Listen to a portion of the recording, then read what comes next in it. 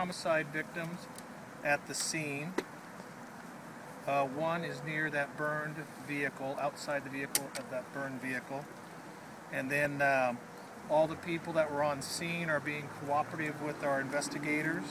There's a, a victim uh, that is uh, is alive at the, what, the hospital and being, being treated.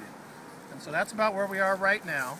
And then I'll go through and give you the official go through on this, and then you can have some follow-up questions for me. That all sound good? Perfect. Okay. Wait just one second. Well, you want to record record call? You know how it works. Yeah, it's okay. We'll wait. Got plenty of time. Know,